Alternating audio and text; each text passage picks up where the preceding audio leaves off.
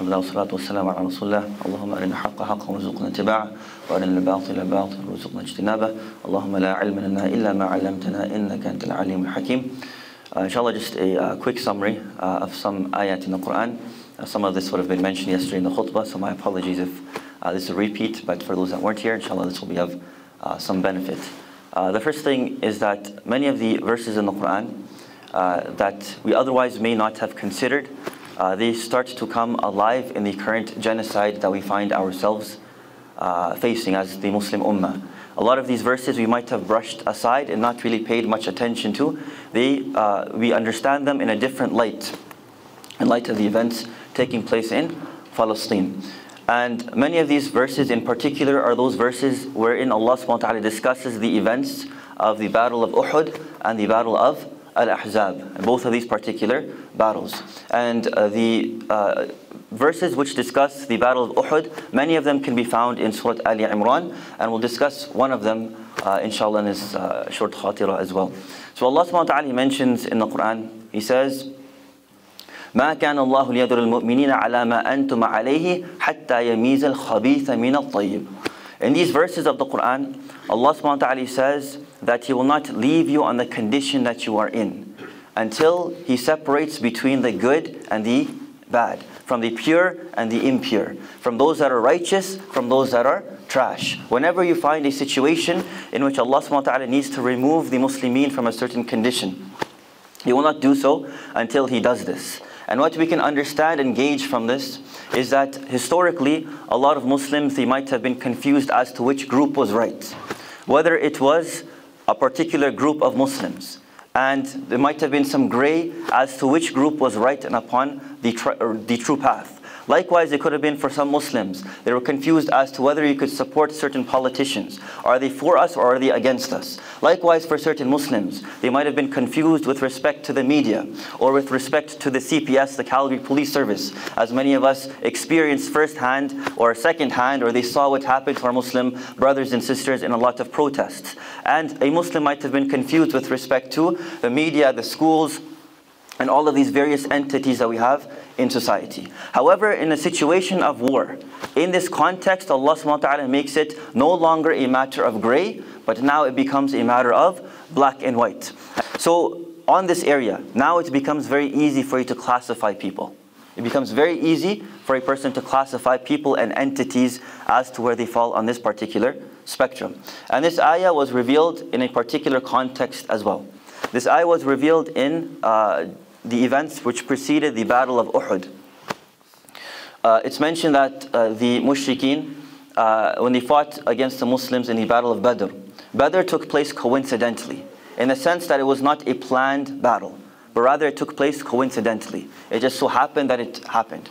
And when the mushrikeen lost that particular battle, then they wanted revenge. And one of the uncles of the Prophet ﷺ, Al-Abbas, uh, Ibn Abdul Muttalib, he was a secret Muslim at the time. And because of this, he was in Mecca and he was able to get some information about the battle which is to come, which was the battle of Uhud. And he was able to convey this to the Prophet ﷺ in advance. And in so doing, the Prophet ﷺ, after this point, he made certain plans and preparations to prepare, prepare for this assault. And there were some elderly from among the Sahaba that said, let us stay in the city of Medina to Munawwara because it offers a type of natural protection. As we know in the battle which followed, which was the battle of Al-Ahzab, there is one uh, section of Medina in which they built the trench. They didn't build it all around Medina. There's only one section in which they built a trench because there are mountains on either side. There are palm groves and date groves and a type of natural fortification in the city of Medina. So the elderly that had experience, they said, let's station ourselves here and wait for the enemy to come us and defend ourselves in the city of Medina. The youth, they disagreed because youth can sometimes be overzealous and they have a lot of energy. And they said a lot of them that missed the battle of Badr, they now wanted to prove themselves in the battle of Uhud. Some of them were quite young and the Prophet ﷺ did not even give them permission. So they wanted to prove themselves in the battle of, of Uhud. Uh, so they requested that the Prophet ﷺ now go out and meet the enemy on the battlefield. And because this was the dominant view uh, in general, the Prophet ﷺ, he agreed to this.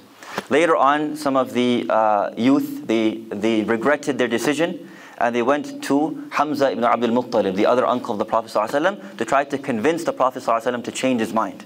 And at this, the Prophet ﷺ, he made his famous statement where he said that it is not befitting for a Nabi when he puts on his, uh, his, his armor for him to take it off حتى يقاتل until he fights the enemy because this would show cowardice and weakness on the part of the Anbiya which is not befitting of them. So they went out with 1,000 people to Uhud and on their way there there were various battalions and at the head of each of these battalions were different people.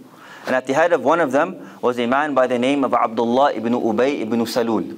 And he was one of those elderly Sahaba that was trying to convince the Prophet ﷺ not to go out to Uhud. And when he found that the Prophet ﷺ was doing this, he commented by saying that the Prophet ﷺ is leading us to certain death. I tried to convince him otherwise, but he did not heed my advice. And he expressed anger at this and resentment towards the Prophet ﷺ. So instead of even informing the Prophet ﷺ, they started to, uh, to, to, to basically break away slowly from the main army. And at a certain point, they made a U turn and they turned around and they abandoned the Prophet ﷺ altogether. This was around 300 men. And as you can imagine, if you drop off from 1,300, that's a significant decrease. And this would have affected uh, any army in terms of their morale and also in terms of perhaps even their victory to have this type of drop off. But he escaped the Prophet ﷺ and he abandoned the Muslimin in this time of need. And the Sahaba, they asked him why you're doing this. He made all sorts of excuses. This is mentioned, these excuses are mentioned, by the way, in Surah Ali Imran as well. We won't get into them. But they made all sorts of excuses to the Prophet ﷺ. But the first lesson that we understand here is that Abdullah ibn Ubay ibn Salul was one of the leader of the Munafiqun. And he abandoned the Muslimin in their time of need. Whenever you find people doing this, whether it's leaders, whether it's Muslims, when you have a sense of need for the ummah and then they abandon them, then this is a quality of the munafiqun. And Allah subhanahu wa ta'ala, prior to this, people might not have known that Abdullah ibn Ubay ibn Salul, because his name was not revealed, was from the munafiqun. However, in this context, as Allah subhanahu wa ta'ala mentions in this verse we quoted, ما كان الله ليذر المؤمنين على ما أنتم عليه حتى يميز الخبيث من الطيب. Now it became very evidently clear who was where. And when we go further to this, again not to make it too long, but we'll just summarize it. In the time of Salahuddin al-Ayyubi, and prior to him Nuruddin Zanki and his father, Imaduddin Zanki, they faced this as well.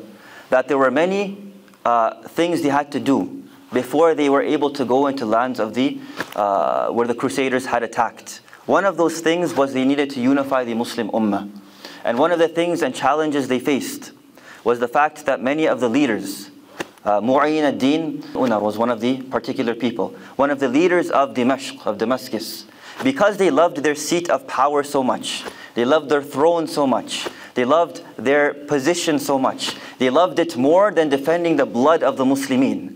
Because of this, many of those particular leaders in the towns of Damascus, of Homs, and in, in the Fatimid dynasty as well, who were Fatimid Shia at the time, they sided with the Crusaders against the Muslims. They sided with the Crusaders against the Muslims. Does this sound familiar? Right, so this is another lesson that we can derive from this. And in these situations and context, all of these leaders, all of these peoples, all of these entities that previously might have been with you and saying we support you, Allah subhanahu wa ta'ala says, He will yamiz al-khabitha min al-tayyib. And Allah subhanahu wa ta'ala, and we'll conclude with this point, we can continue this uh, discussion as well tomorrow. Allah subhanahu wa ta'ala mentions in the next uh, ayah, or in the, uh, some ayahs uh, also discussing this, this type of uh, context and situation. Allah subhanahu wa ta'ala, He says, something that we need to think about in this current context. Allah subhanahu wa ta'ala says, يَا أَيُّهَا الَّذِينَ آمَنُوا لَا تَتَّخِذُوا بِطَانَةً مِّن دُونِكُمْ Allah subhanahu wa ta'ala says, O you who believe, do not take your closest associates, your closest advisors, as people that are not Muslim. Can we have relationships with non-Muslims? Yes, we can. But don't take your closest associates as people that are not Muslimin. And Allah subhanahu wa ta'ala, He makes this very clear as to why. Some people have a problem with this and they say, uh, you know, Islam is, uh, uh, why, why are there these restrictions? These are good people. But Allah subhanahu wa ta'ala tells us the reason why. Prior to all of this stuff happening, a lot of Muslims were leaning towards the political right. And what was the reason for this? The gender ideology and LGBTQ issues. They were leaning politically right because they align with our they were leading politically. My, uh, I guess your right is here, but my right is here. So they were leading politically right uh, because of the um, LGBT issues and and and, and uh, gender ideology. And Subhanallah, we see that when this event took place, then their true colors came out. People from the Daily Wire, Jordan Peterson's a famous example, I'm sure many people have heard of. When all of these situations happened, we used to follow them. But then their true colors came out with all of this. And that's why Allah subhanahu is telling us not to take your closest associates as people that are not Muslimin. Because the left, they want to kill your soul. The left wants to kill your soul. They want to kill your morality And the political right, they want to kill your body. So we find in this situation, both of them, they want to kill you from different ways. And in this context, the best thing for you to do is ally yourself with other Muslimin. Allah subhanahu wa ta'ala goes on to say, وَدُّ مَا عَنِدْتُمْ They only want evil for you. And after this, and we'll conclude with this part, Allah subhanahu wa ta'ala says, قَدْ بَدَتِ الْبَغْضَاءُ مِنْ أَفْوَاهِهِمْ Their hatred has become now apparent from their words. وَمَا تُخْفِي صُدُورُهُمْ أَكْبَرُ and what is hiding within their hearts is far worse. An example of this is, as I'm sure many people have seen, uh, one of the advisors to the Obama administration. And there's a video which went viral in which he was abusing and hurling Islamophobic insults at a, a person who was, I think he was of Egyptian background, in New York City, and he was selling shawarmas. And this person was an advisor to the Obama administration. Obama, from face value, seems like a pleasant person, very personable, uh, very easy to get along with, has good social skills, and is able to convince people. He gave a speech in Cairo. But this person was an advisor to him in that time frame while he was putting up this huge, this entire front. And Allah subhanahu wa ta'ala says, in context of war, قَدْ بَدَتِ الْبَغْضَاءُ مِنْ أَفْوَاهِهِمْ Their hatred becomes apparent from their tongues. 4,000 dead Palestinian children is not enough. These sorts of sentiments. قَدْ بَدَتِ الْبَغْضَاءُ مِنْ أَفْوَاهِهِمْ وَمَا تُخْفِي صُدُورُهُمْ أَكْبَرُ and what they're hiding in their hearts is in actuality far worse.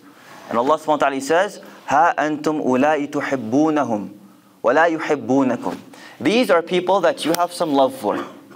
The politicians, they come here, you express love towards them, and you try to welcome them into our community. Ha antum ulai tuhibbunahum wa la yuhibbunakum. But they don't love you. And this becomes very evident and clear in this context that we find ourselves in. The, the, the, the truthful and the righteous become very evidently clear from those that were hiding all along. And Allah subhanahu wa ta'ala will use this as a context to make it evidently clear to the Muslimin which side is upon righteousness. Again, we could go further to this. We'll continue tomorrow, inshallah. But hopefully, this was beneficial and providing some insight into some of these ayat which uh, discuss the events of Uhud and how we can apply uh, them in today's context. May Allah subhanahu wa ta'ala make us from those that understand. May Allah subhanahu wa ta'ala protect the people of Palestine. The bombardments have continued as we all are un, uh, unfortunately all aware. And we ask Allah subhanahu wa ta'ala to make the Muslims victorious uh, through all of these circumstances and to grant them patience and steadfastness and uh, make the Quran, as we mentioned in the dua, the spring of their heart, نور ربيع قلوبنا ونور صدورنا and the light of their chest. Wassalamu alaikum wa rahmatullahi wa barakatuh.